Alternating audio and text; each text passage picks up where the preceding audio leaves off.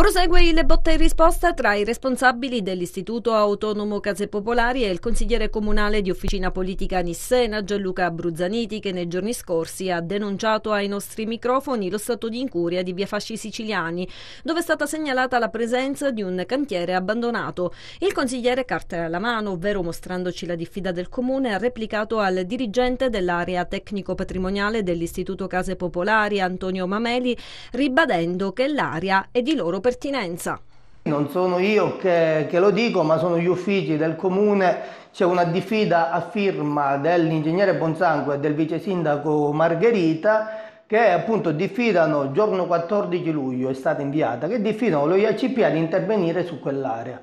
Mi fa, mi fa specie aver sentito toni sicuramente non pacati da parte del dirigente Mameli che dice che addirittura eh, un consigliere comunale, il sottoscritto, parli a sproposito per quanto riguarda questa problematica, quando invece probabilmente il, eh, un dirigente dello, dello IACP invece dovrebbe avere forse meglio chiara mh, mm, eh, la, la, situazione in, in, questione, perché io non mi riferivo all'intervento sul palazzo, quindi legato al prospetto, bensì alla strada la strada limitrofa al palazzo, che, con, che, non, che, non, riguarda 14 famiglie, ma ne blocca ben 42. Quindi ha detto un, una cosa assolutamente non vera. Non è vero neanche che l'area non, non, sia di competenza dello IACP, in quanto in quell'area proprio lo IACP ha, ad i nostri uffici ha, ha detto che... Eh,